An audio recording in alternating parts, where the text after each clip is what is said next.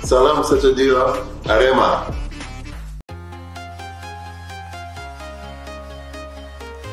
Assalamualaikum warahmatullahi wabarakatuh. Salam olahraga. Kembali lagi bersama channel kami yang tentunya masih setia menyajikan informasi-informasi menarik seputar dunia sepak bola tanah air.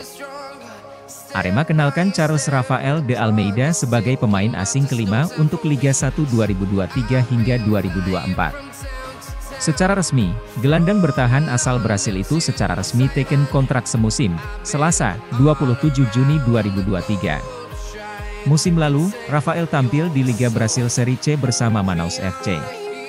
Dalam semusim, pemain berusia 28 tahun itu tampil enam pertandingan dengan mengemas satu gol.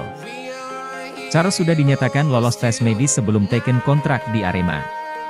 Manajer tim Arema, Wiebi Andreas memastikan Charles menjadi bagian dari Arema musim ini. Setelah kemarin kita resmikan Ari Lucero, hari ini Alhamdulillah kita pastikan merekrut Charles Rafael, kata Wiebi.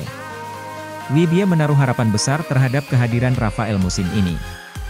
Harapan utamanya, si pemain bisa cepat beradaptasi dengan tim, mengingat Liga 1 2023 hingga 2024 segera bergulir. Sebelumnya, Arema sudah punya empat pemain asing. Mulai dari Gustavo Almeida, Brasil, Charles Locolingoy, Australia, Ichaka Diarra, Mali, hingga Ariel Lucero, Argentina. Tentu bergabungnya Charles Rafael adalah kabar menggembirakan, semoga cepat beradaptasi dengan tim, pungkasnya.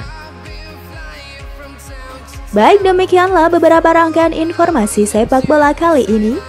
Jangan lupa klik tombol subscribe. Nantikan dan terus tonton informasi menarik lainnya seputar sepak bola dari channel kami. Sampai jumpa, salam olahraga.